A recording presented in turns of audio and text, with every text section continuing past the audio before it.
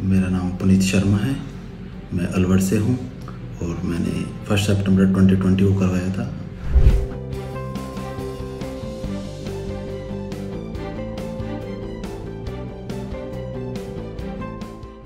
आज मुझे दो साल हो गए हैं इसको करवाए हुए और हेयर लॉस बहुत ज़्यादा था वो मेरा जो फ्रंट एरिया है लगभग खाली हो चुका था। दोस्तों के बीच में दिक्कत आती थी, मज़ाक बनाते थे।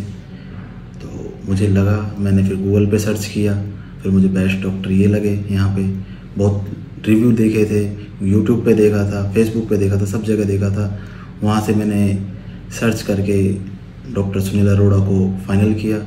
फिर मैंने इनसे बात की। पॉजिटिव एटीट्यूड लगा इनका, मुझे रेस्पॉन्स अच्छा लगा। फिर मैंने करवाया यहाँ पे। तो अब करवाने के छः महीने बाद बहुत अच्छा रिज़ल्ट आया और सेल्फ जो पर्सनैलिटी है, वो भी डेवलप हुई कॉन्फिडेंस आया दोस्तों के बीच में। जो बैठते हैं, बात करते हैं तो जो मज़ाक बनती है, वो भी कम हुई। और जो अपने किसी को बाद में मिल, मिला हूँ मैं दो साल बाद तो किसी को लगा भी नहीं कि मैंने हेयर ट्रांसप्लांट भी करवाया या नहीं भी करवाया। जब किसी को मैं बताता हूँ, तब उनको फील लगता है कि यार, बहुत अच्छा है। और तो मैं रिकमेंड करता हूँ सबको कि करवाएँ और पर्सनलिटी डेवलप करें सेल्फ कॉन्फिडेंस बढ़ाएँ।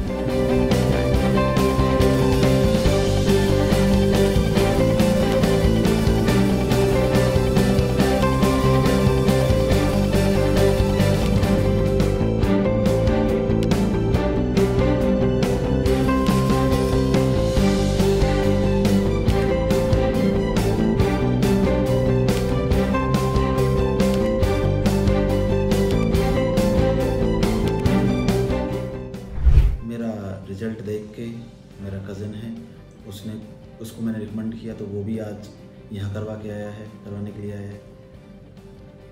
मेरा नाम तपिश है, मैं अलवर में रहता हूँ, मैं बेंगलोर में जॉब करता हूँ और इनको, इनका दो साल में रिज़ल्ट देख के मैंने आज कल ही अपना हेयर ट्रांसप्लांट करवाया है। प्रोसीजर बहुत पेन फ्री था और यहाँ पर केयर टेकिंग बहुत अच्छी थी।